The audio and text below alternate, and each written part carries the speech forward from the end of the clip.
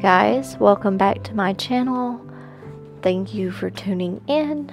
And today I'm going to be talking a little bit about my process with this project that I have tackled this week. This was a last minute gift for my sister's birthday, and if you're seeing this, Sissy, happy birthday. It has taken me approximately four days to finish this piece, and this specific video happens to only tell about three of those four days. The first day was me sketching out my piece and putting it on Procreate so I could play around with the colors a little bit, see what colors I liked best for this piece, and also get a little feel for the composition.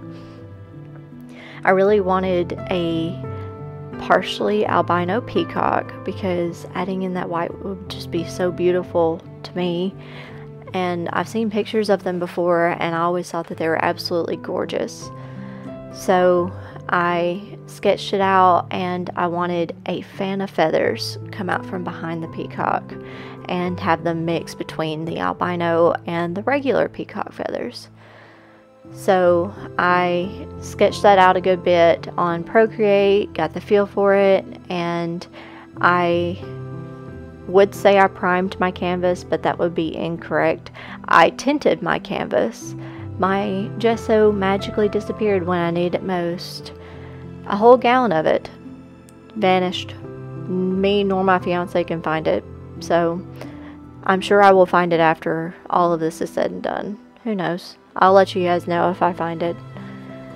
But I took some white paint and some burnt sienna and mixed it up real good and slapped it on the canvas and concluded that I really liked the color and I was going to keep it that way and it was just going to be considered a quote unquote background. And if you're wondering what I'm doing here, I just put on a thick coat of blue paint and then immediately followed it with a coat of white paint that is for me to add saturation to my color as I add the last layer of blue on there and adding blue and white paint desaturates it so actually adding a layer of white will give more saturation to the next layer. Bird feathers are a bit tricky in the sense that they really need to be as vibrant as possible, especially when you're dealing with a bird such as the peacock or any other kind of bird, such as a macaw or a toucan, or most tropical birds are very vibrant as well. And so, this was a little trick that I learned to add saturation and make the bird as vibrant as possible. And don't get me wrong, my technique is absolutely horrendous, and I am trying to work on that in this painting. But I am by no means a master of painting or colors. I'm still in the process of getting my feet wet with that. It's a little daunting.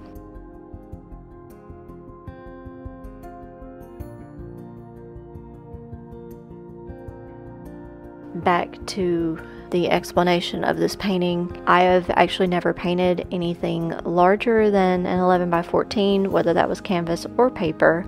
So this was an actually very daunting task for me.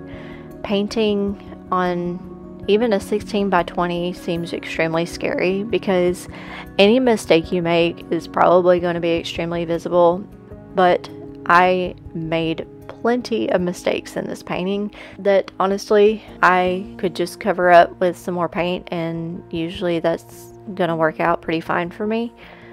And I actually ended up doing that a couple of times. That is part of the process. You gotta problem solve when things don't really turn out the way you want it to.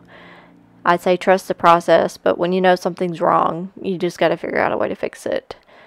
I guess you could consider that part of the process.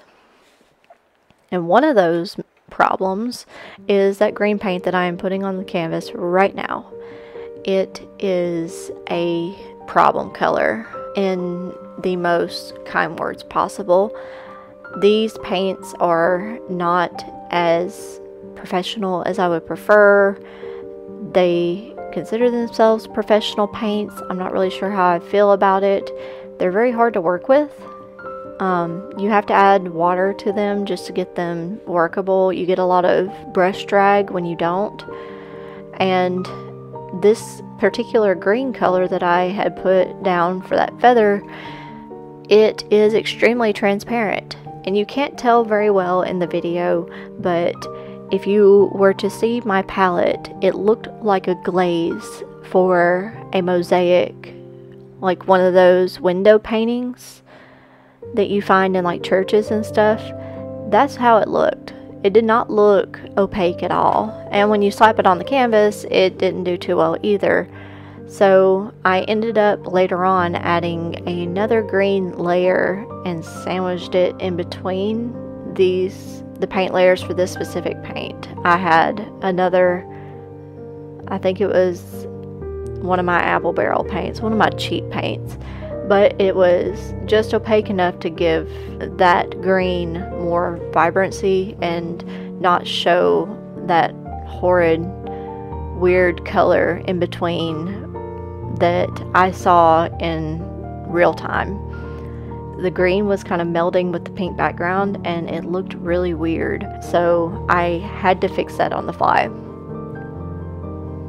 Another mistake that I am forcing you to experience with me is I realized after painting the feathers on the head, I hated them.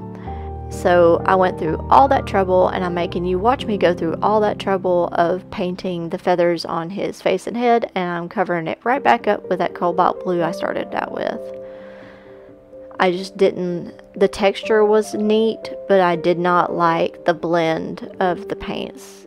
Just something about it I just didn't feel like I did right. So I went back over it with cobalt blue and I tried a different method which is closer to the feathers on his chest for the next go around with that.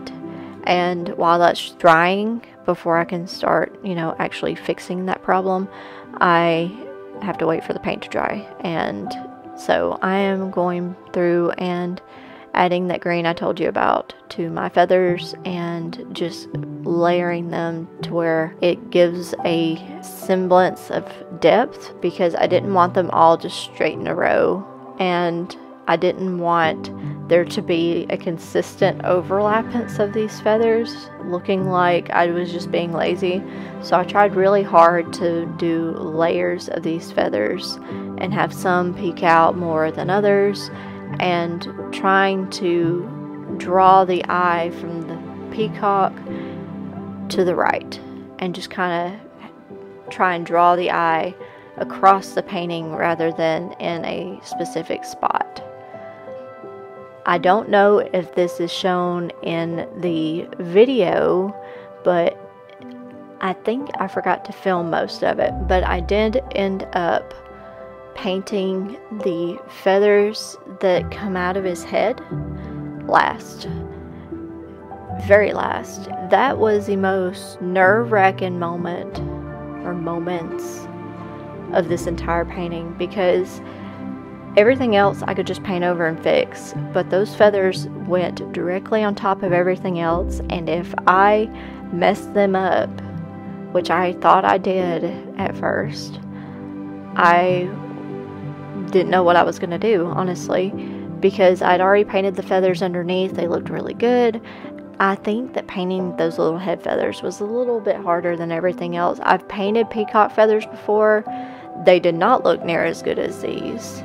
I had painted them before, so I think I had a little bit of experience with how to tackle painting them and I never painted those head feathers before. I'd only just painted some little abstract peacock feathers and slapped it on some type of abstract background and called it a painting. And it didn't look bad, don't get me wrong, but I wasn't really fond of that painting.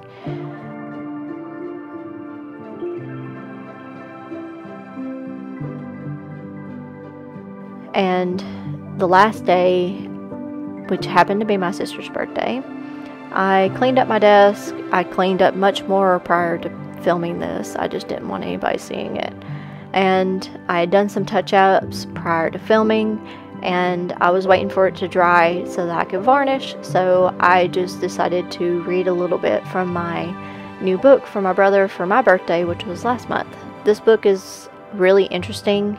I don't do oil painting, and I would like to eventually, but circumstances as they may be, I can't right now. I don't have the space, and we have so many animals that if I tried to oil paint, even with those mediums that cause it to dry faster, I have a feeling that the canvas would probably have a ton of hair. I really don't want to deal with that. So I'm going to wait till I have a more dedicated space where the cats can't have access to before I actually start doing oil paintings. I feel like this book is a lot more than just for oil painters. I like it a lot so far. It really does give good explanations about preparations and talking about different types of paintings, like plein air versus, you know, the longer paintings, like the one that I have done in this go around. And now I'm putting it on my table to varnish. I'm going to be using my Gamblin varnish. I really like it it's very thin, so it goes a long way. I don't really like those thick varnishes. They it takes a lot and they're really really expensive anyways. So just having something thinner that's more easily spreadable helps a lot. I varnished this one and I varnished a smaller piece and that's not going to be shown here because I already painted that piece a while back. You can go back on my Instagram. It's my little cactus blossoms that I painted a few months ago. I forgot to varnish some, so I went ahead and did that today while I already had it out. And I added a little bit more varnish because I felt like I didn't have enough to cover the space.